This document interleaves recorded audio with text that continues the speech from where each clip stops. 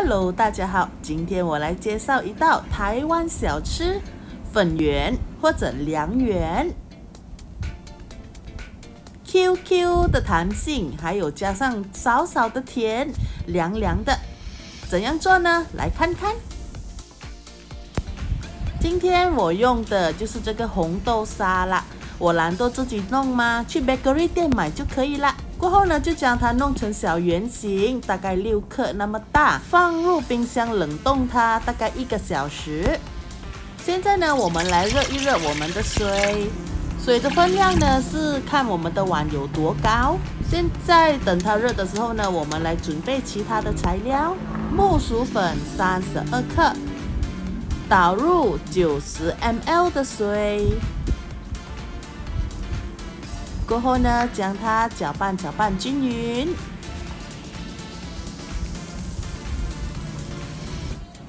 均匀后，我们的水也滚了。当我们的水滚后，记得关掉那个火，因为我们只是要拿来泡一泡它，不需要一面煮一面泡。OK，关火后，我们就将我们的碗放下去，一直一直搅拌它，这样搅搅搅搅搅搅拌搅拌，感觉到有点硬硬了的话呢，就可以过，马上将它拿上来，放入我们的冷布上。如果它变成这种硬块的话呢，不要紧张，有方法解决的，就是倒入适量的室温水。通常变成这种硬块呢，是因为我们。泡在热水中啊，太过久了，所以说它变成硬块。我们要的是那种比较水水的，所以说呢，我们只是加一点点水下去先，先搅拌搅拌它，直到我们要的那个浓度就可以了。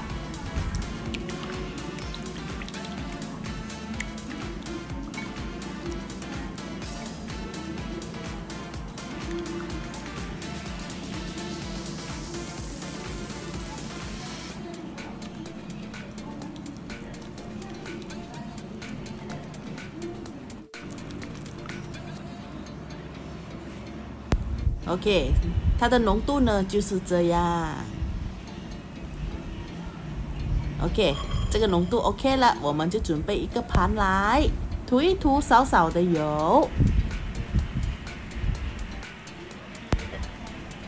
涂好后放入一旁备用。这个方法呢是让我们的那个圆粉不粘盘。现在呢，我们的红豆球已经冷了、硬了。方法呢简单，将它放入刚才我们的那个木薯粉内，啊，这样搅拌搅拌它，给那个木薯粉完全的包在这个红豆上，嗯，这样就可以了。记得要包完哦。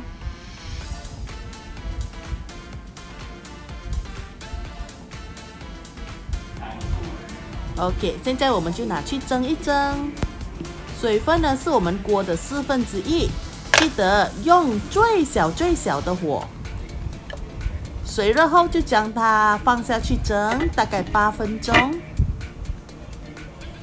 八分钟蒸后出来的效果一定是这样的，哇，美美的。好了过后呢，就将它拿上来，倒入冰水。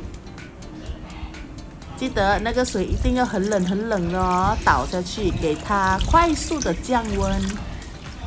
或者有些人我看过是直接放那个冰块上去的，也可以。好，为了要它更加冷，我们就放入冰箱一个小时。好，一个小时后来看看，